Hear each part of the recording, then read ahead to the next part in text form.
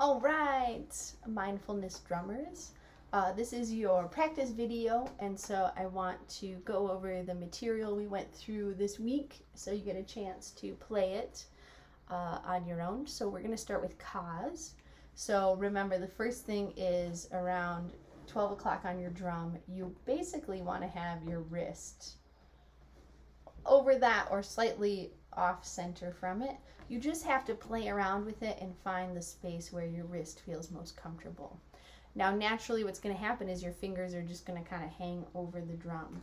So, all I'm going to do is I'm going to put my thumb on this sort of leather piece that I have. Yours will have probably a little uh, ribbon or something. And then I take my ring finger and I'm going to straighten it out and bring it towards the top. Now notice how just my nail is on the inside ring of the drum. Just like when I play a tech, it's just on the inside ring. My ka will be on the inside ring.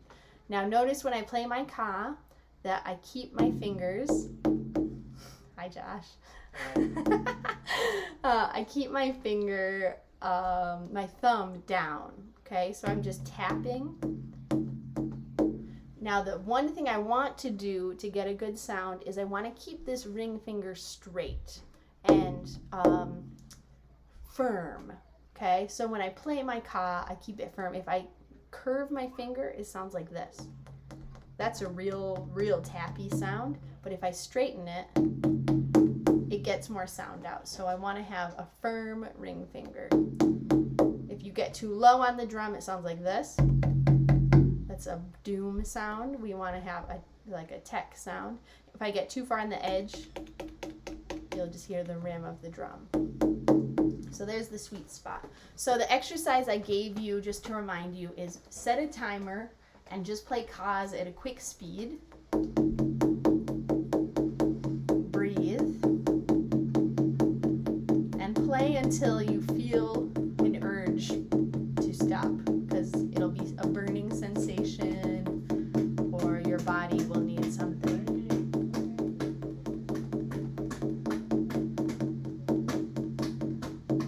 added Josh uh, sounds outside. That's cool. It happens. So now I'm feeling that it's starting to burn. And so I take a break. Woo, and you'll feel, and you'll eventually build those muscles up. Okay, so the next rhythm we did is Zaar. So I'm going to close this because they're basically, it started raining outside and now they're trying to clean up everything. All right, so our Zaar pattern is doom, ka doom, tek, doom, ka doom, tek, doom, ka doom, tek. And like I said before, that ka, you want to link to your doom. So if I only played the dooms in this rhythm, it would sound like this. Doom, ka, doom, tek, doom, ka, doom, tek. So you can start out with that if you need a little extra help getting the rhythm. Throw in the tech next. Doom, doom, tek.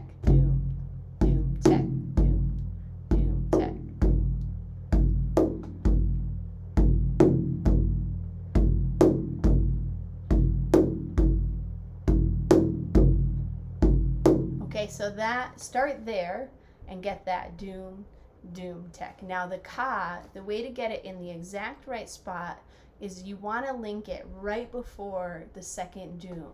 So that sounds like this. Doom, doom, doom, ka doom, doom, ka doom. It feels like skipping a little bit. Remember when you were a child and you like to skip? That's what your hands feel like they're doing. once you have these two pieces, then you can add the tek in.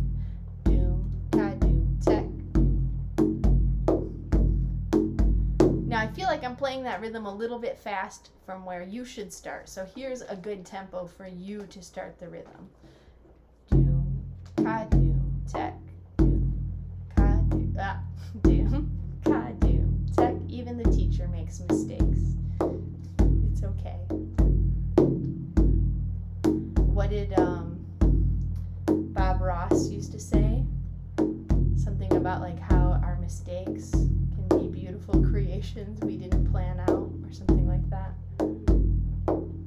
If you remember the exact Bob Ross quote, feel free to put it in the comments. Okay, so that's the rhythm. And if you feel like you start to get that rhythm down, try it a little faster, like. Try to get that bouncy rhythm.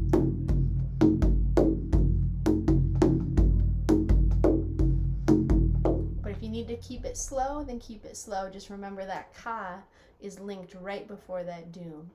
Doom, ka doom, tech, doom, ka doom, tech. All right. Have a wonderful week. Good luck and keep up the drumming.